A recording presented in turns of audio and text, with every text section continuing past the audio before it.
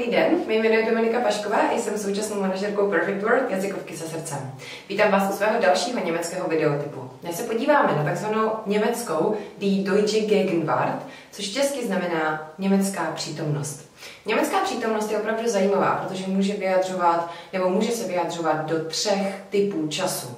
Může se vyjadřovat buď velmi obecně, nebo se může vyjadřovat na právě současně se dějící děj, a nebo může říkat, že něco teprve bude.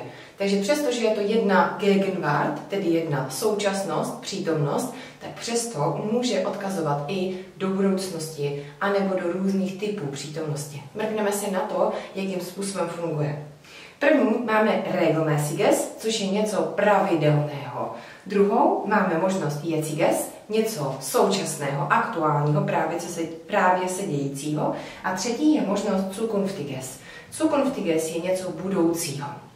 Skvělé je, že v německé přítomnosti je jeden a ten samý tvar pro absolutně všechny tyto možnosti. Takže naučíte se časovat podle přítomného času a všechno je stejné. To je opravdu skvělé. Mrkneme si na první regelmäßiges. Jak můžete vyjádřit, že něco pravidelně se opakuje? Můžete říct si například větu Ich spreche drei Sprachen.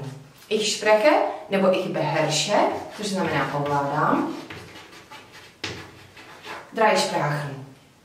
Ich spreche drei Sprachen znamená mluvím třemi jazyky, nebo ich beherrsche drei Sprachen doslova ovládám tři jazyky.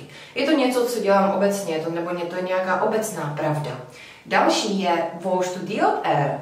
Wo studiert er znamená kde studuje. Kde studuje? Ne teď, ale obecně. A další věta. Besucht sie ihre Eltern.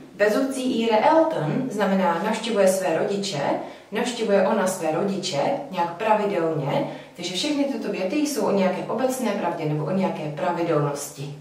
Další možnost, co umí přítomnost říkat, je jeciges. Jeciges je něco, co právě teď probíhá. Je to současné, je to aktuální. Odpovídalo by to třeba anglickému přítomnému průběhovému času. A toto se v Němčině vyjadřuje úplně stejně jako něco obecného. Takže je to opravdu jednoduché. Příkladové věty jsou Ich bereite das Abendessen vor. Hm, tam je do. Ich bereite das Abendessen vor znamená připravuji večeři. Ich bereite das Abendessen vor, připravuji večeři právě teď. Toto je otočitelná předpora, můžete si všimnout, že vorbereiten, tedy připravovat, funguje tak, že řeknete nejdřív to sloveso dané, takže ich bereite das Abendessen a až nakonec dáte tu předponu vor. Připravuji právě večeři. Další věta. Was machst du dort? Was machst du dort je, co tam děláš. Jakože vidím, že tam sedíš a co tam děláš? Teď, právě teď. Was machst du dort? Co tam děláš? Další věta. Sie schwimmen im Bad. Sie schwimmen im Bad znamená, oni plavou v bazénu. Oni plavou v bazénu, právě teď je tam vidím, jak tam plavou v bazénu. Takže toto je něco přítomného, průběhového, právě se to děje. Vůbec si nebojte to také tak používat, je to správně. A poslední, co umí přítomnost, je Zukunftiges. Zukunftiges je něco budoucího, něco, co teprve bude. I toto se dá vyjádřit úplně obyčejným přítomným časem v Němčině. Věty zní, ich komme bald. Ich komme bald znamená přijdu brzo. Že neboj se, budu tam brzo. Teprve ale přijdu, je to do budoucna. A stejně to říkám přítomností. Ich komme bald, přijdu brzy. Další věta, hilfst du uns, hilfst du uns znamená pomůžeš nám, že ne teď, ale do budoucna. Hilfst du uns, pomůžeš nám a je to také přítomnost. Takže německá přítomnost je opravdu dokonalá. Můžeme mluvit o něco v obecných, v obecných pravdách, anebo v něčem, o něčem pravidelném, také o něčem, co se právě teď děje, anebo o něčem, co teprve bude, tedy do budoucnosti.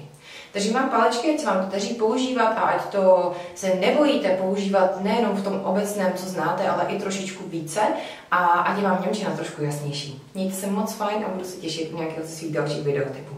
Naschledanou. thank you